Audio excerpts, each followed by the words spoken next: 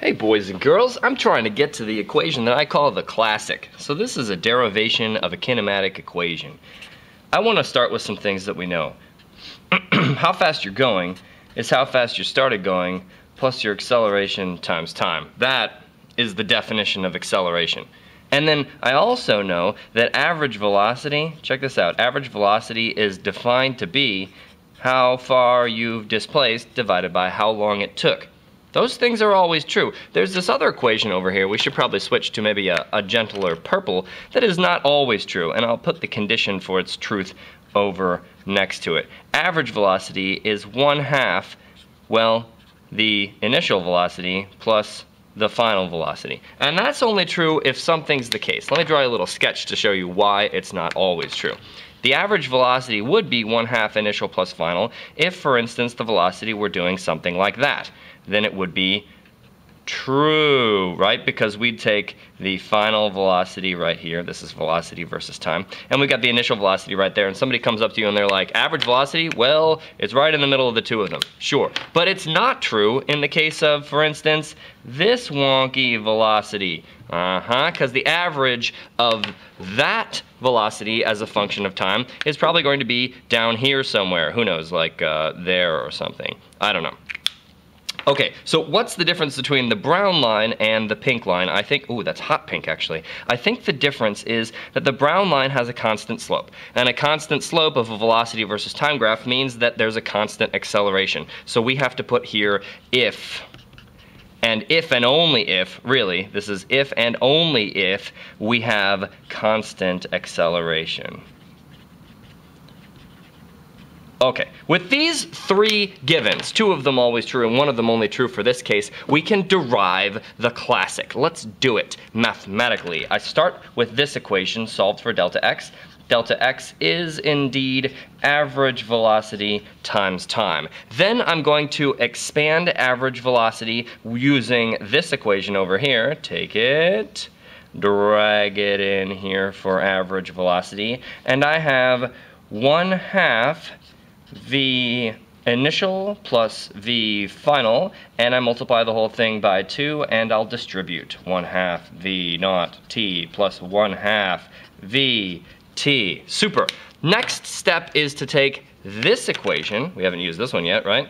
So we should probably use it eventually, and I'm going to plug it in here for final velocity, and I'll get well, the first term copies as it was, 1 half v naught t, plus, and now I have, whoa, that's supposed to be a plus sign, plus this thing, which is 1 half times v naught plus at, um, and then the whole thing has to be multiplied by t again. So let's get an equal sign here and see what we have. We have 1 half v naught t. This first term hasn't done anything since the beginning. Plus, I'm going to distribute 1 half v naught t. Boy, that sounds familiar. Plus 1 half acceleration times time times time. That's time square.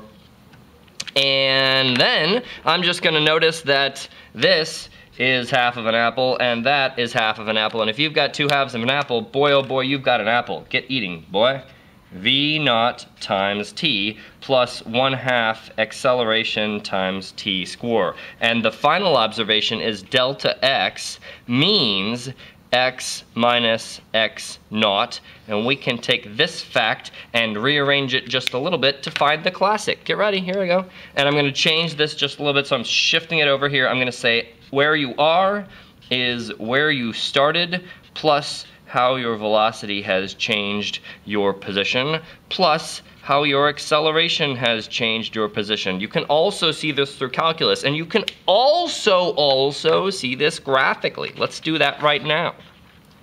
Here's my point with a graph. Let's do a blue, a blue lagoon. I'll give you a velocity versus time graph. And I'll tell you, we start out at one velocity and just keep that velocity the entire time until such a time as we prefer to call t. And that right there is the average velocity. Why is he shaving in? Oh, look, see, v average equals v naught. Well, I guess it's also equal to the final velocity. Why'd he shade that sucker in? What's he all about here? I want to tell you that delta x, how far you've displaced, is your, uh, oh, this is a definition. It's your average velocity times how long you've been displacing. And here, the average velocity is the initial velocity. So I can say, oh shoot, do you see what I just was able to say? I'm able to say that the area under here, what's the area of this sucker? area equals, well, it's base times height, and that area seems to be the base, I guess is going to be time, and the height is going to be v naught. And I'm going to argue that since delta x is v average times t, and the area is v naught times t, and v average is v naught, in fact, the area is delta x.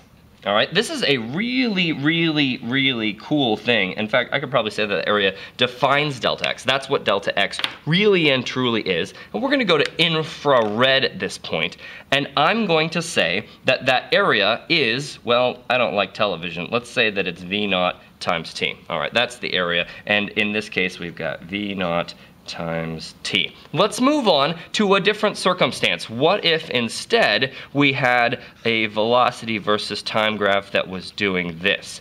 I said the velocity started at zero and went up to some value and that was at some time t, and that value I'm just going to call v for the sake of argument, the final velocity. this right here is the change in velocity. I guess that means that it's v minus v naught right? I hope that's okay with you guys.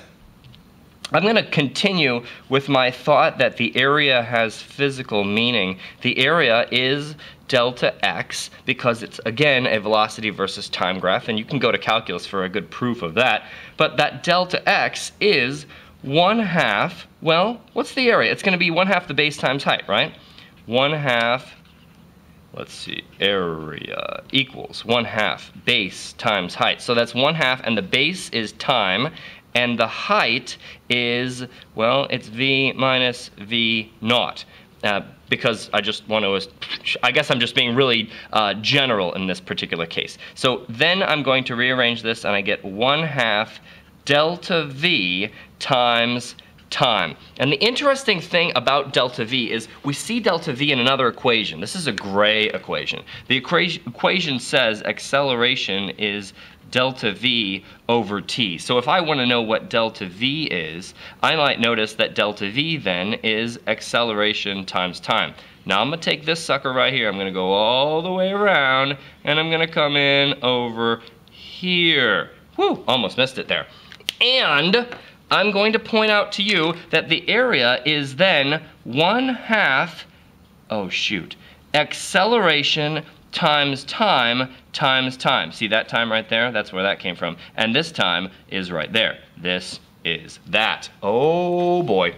This is 1 half acceleration times time squared. Now we're really getting somewhere. And I want to, in this tiny little, watch it, in this tiny little yellow box. I want to put it all together.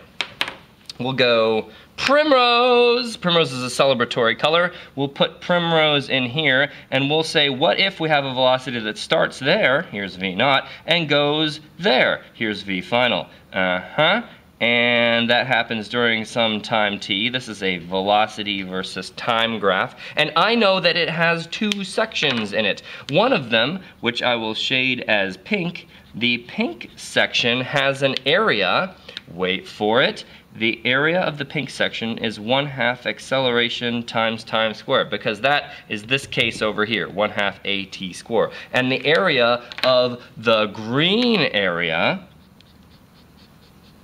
this area right here is V naught times T. Look at it right there. It's that section is there and this section is there. Interesting, if we add those together, we find that the displacement, I guess I've got to go um, electric line, delta x, the total displacement of the thing during this time, is, well, I guess it's going to be v naught times t, that's the rectangle at the bottom, plus 1 half acceleration times time square, that's the triangle at the top. See, the half comes from the fact that it's a triangle. It also comes from calculus. There's another way to see that. And then I'm going to do the exact same thing as I did before. I'm going to point out that delta x is x minus x initial, and I'm going to take this fact right here and add x initial to both sides, enabling me to say that where you are is where you started plus your velocities effect on your position plus your accelerations effect on your position. And that's all.